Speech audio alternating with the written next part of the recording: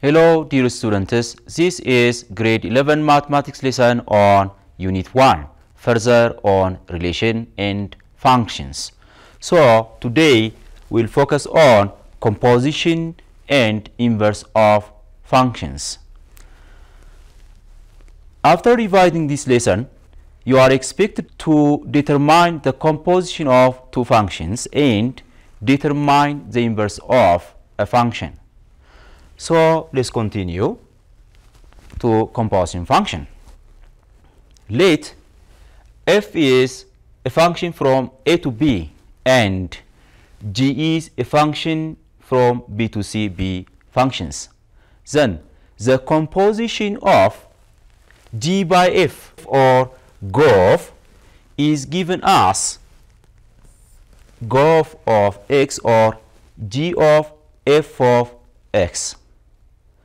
So this is the definition of composition function. Uh, look this one, let's see example. Let we have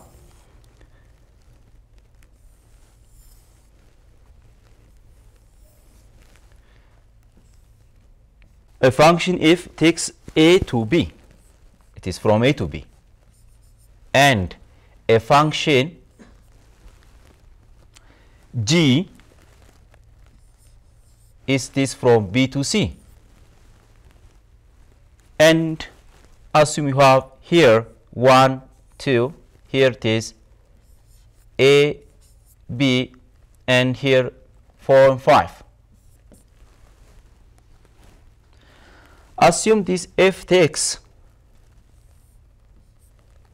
1 to A and B takes this A to 5. So, if we are asked to find the composition of G of f of 1, the composition of this function g of f of 1, this means first we need to find f of 1 or the function f takes 1 to which number? The function f takes 1 to a, so f of 1 is it is a. Therefore, here we have g of f of 1 it is a. And then the function g takes a to which number? The function g takes a to 5. Therefore, g of a it is 5. Therefore, uh, this is how to uh, determine the composition of functions. Now, let's see the other part. Let's take this one. Suppose f of x is given to be 3x minus 2 and g of x to be is 5x plus 1. Then determine the composition of f with g of x and f of f of g of 2. So let's determine these two one by one. First, let's see the composition of f of g of x or fog of x.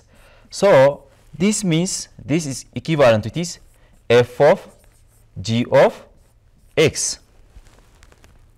So to find f of g of x, what you do is simply you put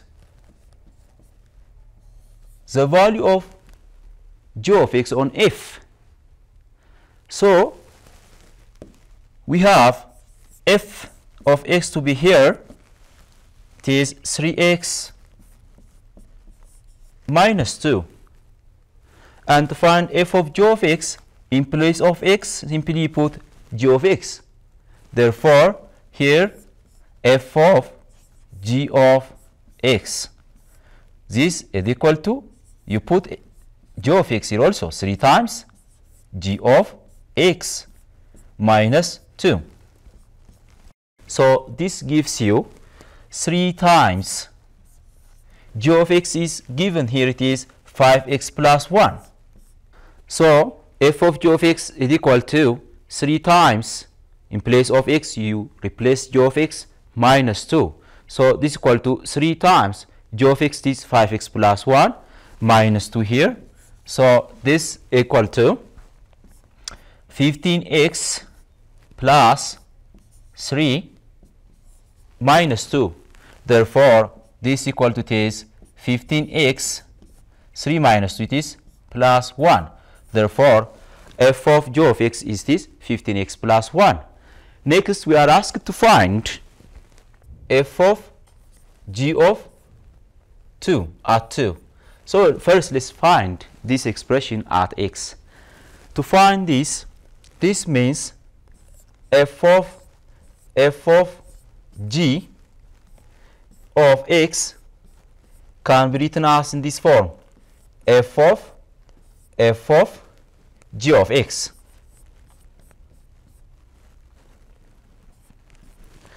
Therefore this equal to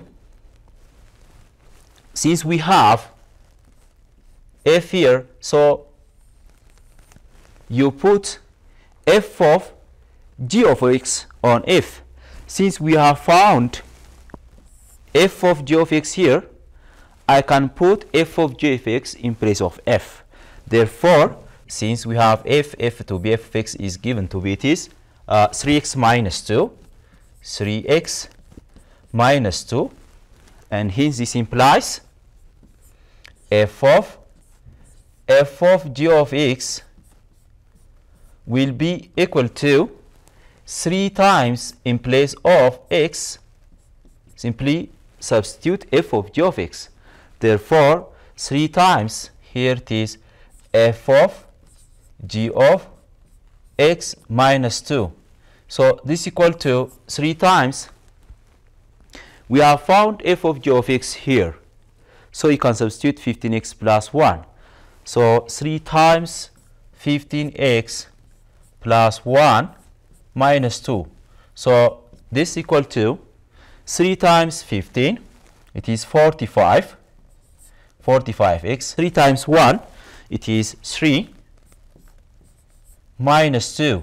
So this is equal to 45x 3 minus 2, it is plus 1.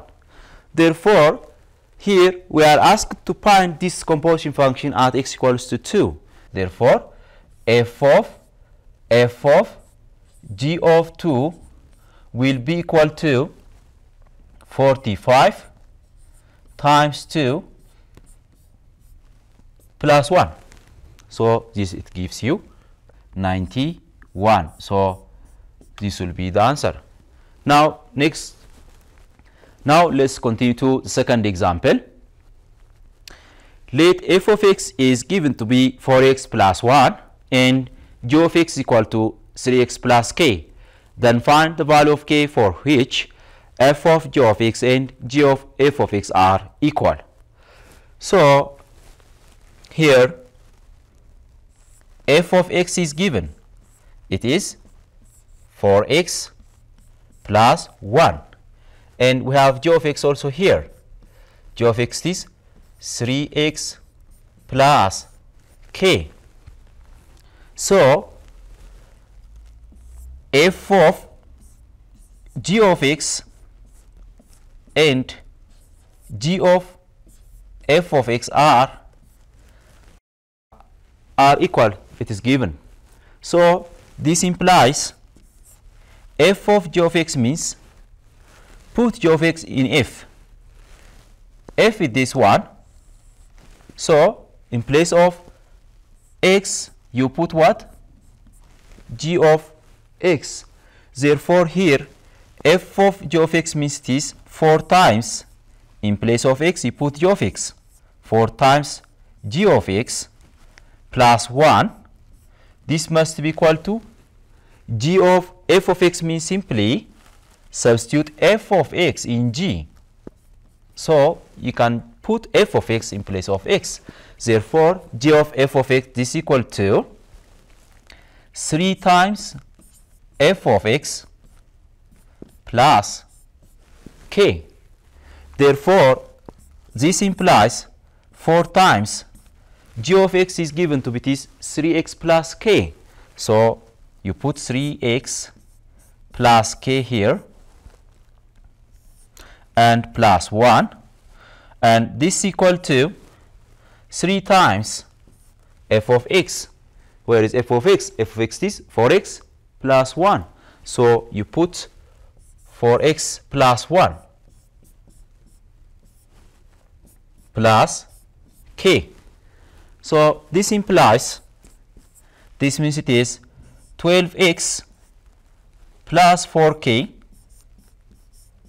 plus 1 and this equal to 3 times 4x it is 12x plus 3 times 1 3 plus k. So from this these two cancels out. You can take this to the side it becomes 0. So we have 4k plus 1 here. Take k to this side. You have this one. 4k minus k must be equal to we have 3 here. Take 1 to the other side. It becomes minus 1. So 4k minus k is this. It is 3k is equal to 3 minus 1 is 2. So divide both sides by 2, you get k to be is 2 over 2 over 3. So this will be the answer. Now let's proceed to the other example.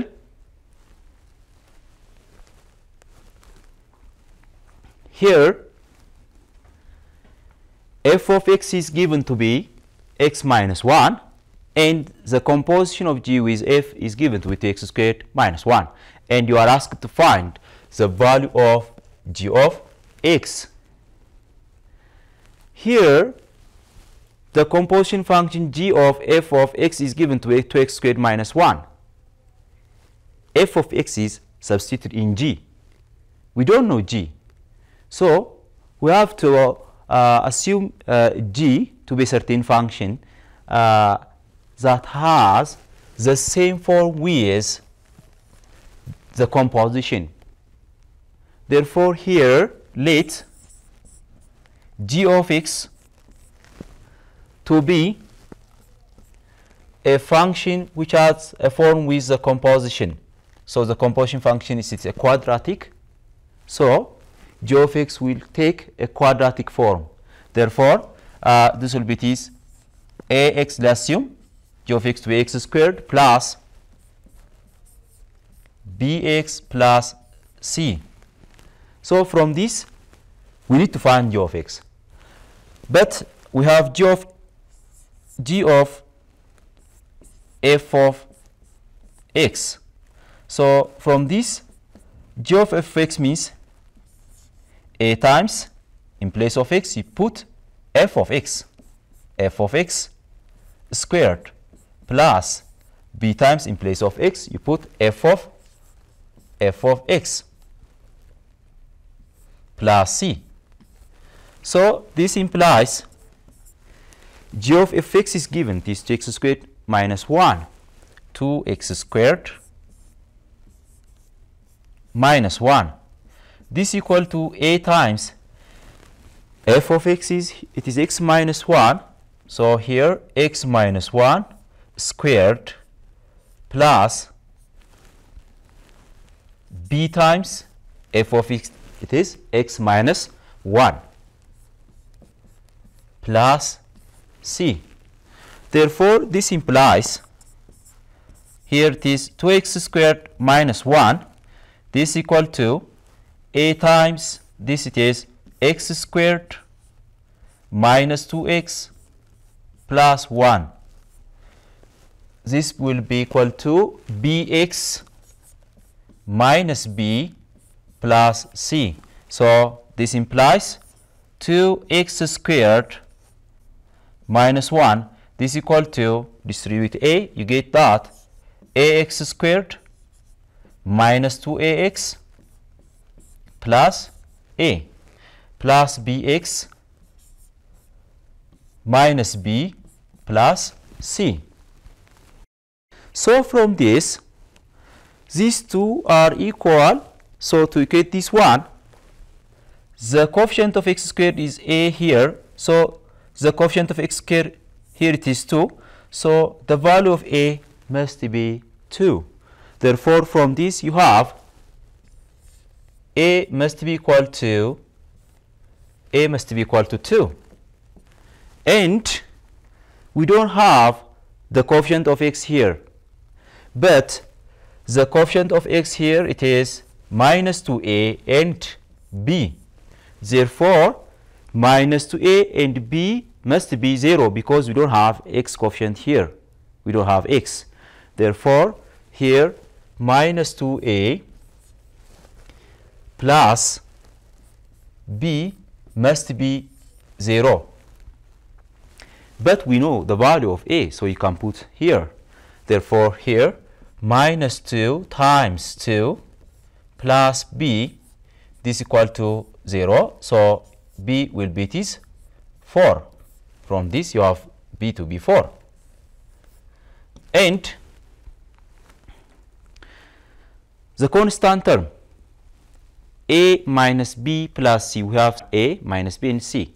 So this must gives you minus 1 therefore here a minus b plus c a minus b plus c must be equal to negative 1 must be equal to negative 1 so we know a and b. Therefore you can put 2 in place of a and in place of b4 plus c is equal to minus 1 so this one is negative 2 take the other side. It becomes plus minus 1 plus 2 it gives you 1 so the value of c is 1 so since we have found a b and c our g of x is equal to in place of a you substitute 2 it is 2x squared. In place of b it is 4 plus 4x and in place of c it is 1 therefore this is our g of x. Let's see about inverse functions. The inverse of function f is denoted by this symbol. Is denoted by f inverse. And f inverse is a function if and only if f is this 1 to 1 if it's 1 to 1 the inverse will also a function. So we have steps to find the inverse of a given function. First what you do is simply interchange the variables x and y in f and then solve for y in terms of x. After that, replace y by f inverse of x. This is a procedure of determining inverse of a function. We'll see this through example. And here, another term, identity function. Identity function. A function i from a to a given by i of x equals to x is called identity function. We call this one is identity function. If f is a function from a to a and i is also a function from a to a, then i of f of x, the composition of function with identity gives you the function itself. Look, we have i of x to be x and we have f of x. So if you are asked to find i of f of x, this equals to simply put or replace x by f of x. So we put here, therefore here it becomes what? f of x. Therefore, the composition of the function with identity gives you the function itself. So here, the composition of the function with identity, it gives you the function itself. Again, you can interchange f of i. This i of f x, f of i of x. If you are asked to find f of i of x, simply you replace i of x by x. Therefore, this will be this will be equal to f of i of x means it is x. This is it. Therefore, uh, the composition of a function with identity function with f or f with identity always gives you the function itself, the function itself. And Note this also. The composition of a function with its inverse always gives you the identity function. That means f of f inverse of x or f inverse of fx always gives you the identity function.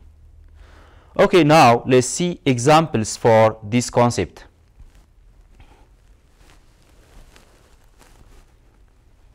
Now here we are asked to find the inverse of this function. As we said earlier, to find the inverse, what you do is replace g of x by y and interchange x and y, solve for y, and then replace y by f inverse or g inverse. Here is the function is g. So, now here solution g of x is given to be this 2x over x plus 3. To find the inverse, change the g of x or the function by variable y. So y is equal to this 2x over x plus 3. After this, to find the inverse, change the variable x and y. Therefore, this becomes this x, this equal to 2y over y plus 3. So after this, solve for y. Solve for y, cross multiplication, x times y plus 3 must be equal to 2y. So here this xy plus 3x gives you 2y. So to solve for y, collect the variables y. Here we have xy and minus 2y this equal to shift 3x to the other side, you get minus 3x. And take y as a common and x minus 2, this equal to this minus 3x. So, you'll have this one dividing both sides by x minus 2, you'll have this one. Negative 3x divided by x minus 2 this all so after this after solving for y as we said replace this by by the inverse function. Our function is g so g inverse of x is equal to minus 3x over x minus 2 so this is the inverse of the function g of x equals to 2x over x plus 3 now let's continue to the other example find again the inverse of this expression. The same procedure. Let's see this one. f of x is equal to the cube root of 1 plus e raised to minus x. So what you do is first replace fx by variable y. This is the cube root of 1 plus e raised to minus x. After this, what you do is change the variables x and y. So y is replaced by x, this is equal to the cube root of 1 plus e raised to minus y. After this, solve for y. To solve for y, first cube both sides. If you cube both sides, you get this one. x cubed is equal to 1 plus e raised to negative y. So from this e raised to negative y gives you x cubed minus 1. So here e raised to negative y it gives you x cubed minus 1. So to solve for this one for y apply logarithm both side. So ln of the natural logarithm of e raised to minus y this equals to ln of x cubed minus 1 and then this means applying logarithmic property you can take minus y to this side. This minus y ln of e is equal to ln of this x cubed minus 1. ln e means 1 therefore we have find uh, minus y. Therefore from this minus y is equal to this ln of x cubed minus minus 1 so this gives you y is equal to negative of ln of x cubed minus 1 by dividing both sides by negative. And then using again logarithm property you can take this negative as a power of this expression. Therefore you'll have this one ln of x cubed minus 1 the power of negative 1 so uh, again you can write this in this form this equal to this ln of 1 over x cubed minus 1.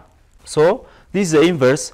Uh, finally, we can replace y by f inverse. So f inverse of x, f inverse of x gives you this ln of 1 over x cubed minus 1. So this will be the answer. Now let's continue to next example find the inverse of f of x is equals to ln of 3x minus 2 over x minus 1 for x greater than 1. So again same procedure. Here f of x this is equal to this ln of 3x minus 2 over x minus 1 is given. What you do is First, change this variable by y. y is equal to ln of 3x minus 2 divided by x minus 1. After this, change the variables x and y. So here, x is equal to ln of 3y minus 2 divided by y minus 1. So, after this, we need to solve for y. To solve for y, this the logarithm of this number to the base e is equal to x. So when you change this into, into exponent form, you'll have this one. This implies 3y minus 2 over y minus 1 is equal to the base is e is a power of x. It gives you e is a power of x. So we need to find for y or to solve for y. So cross multiplication, we'll have this one e raised to x times y minus e raised to x gives you 3y 3y minus 2. So from this, let's collect the variable y together. So here we have e raised to x e raised to x y minus 3y. Take 3y to this side. This equal to negative 2 plus e raised to x. We have negative 2 when take e raised to x plus. So from this you can factor for y. You can factor for y. So when you factor for y, y into e raised to x minus 3. This is equal to I can write this as e raised to x minus 2 and then divide both sides by e raised to x minus 3 by e raised to x minus 3 and this cancels out. You get y to be equal to e raised to x minus 2 divided by e raised to x minus 3. So finally you change this variable y by f inverse of x. So the answer will be f inverse of x equal to e raised to x minus 2 divided by e raised to x minus 3. So this will be the final answer. Now uh, let's see one more example. Let's see this one. Here it says show that f of x is equal to 3x plus 2 and g of x is equal to x minus 2 over 3r inverse to each other. To show this, if one function is the inverse of the other, the composition of these two functions will give you x. That means if f and g are inverse to each other, the composition of f of g of x gives you always x. So, using this concept, we can check whether these two are inverse to each other. Okay, so let's find the composition of f of g of x.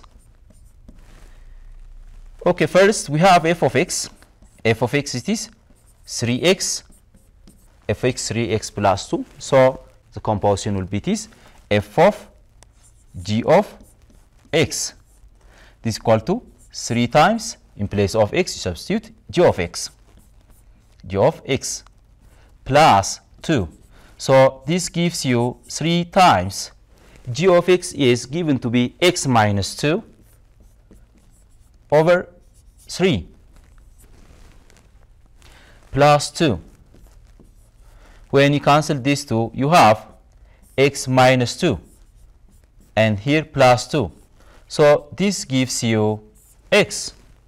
Since f of g of x, the composition of f and g gives you the identity function x, so f is the inverse of g. Even you can check this one, by the way, it gives you x g of, please try this one, g of f of x. If you take the composition of g with f also gives you uh, x, so from this you can conclude that f and g are the inverse to each other. So, uh, this is all about today's lesson.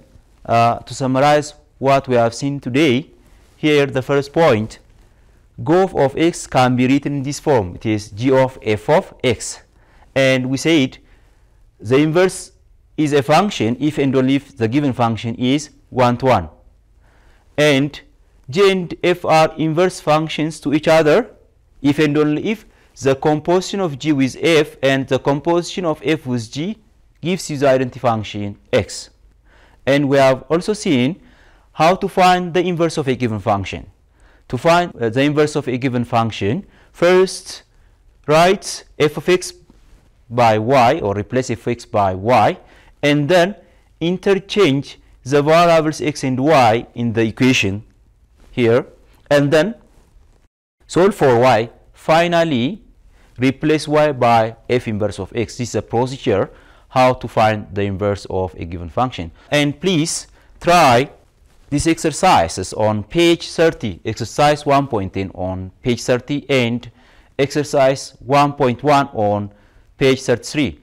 So this is all about today's lesson. Until next lecture class, goodbye.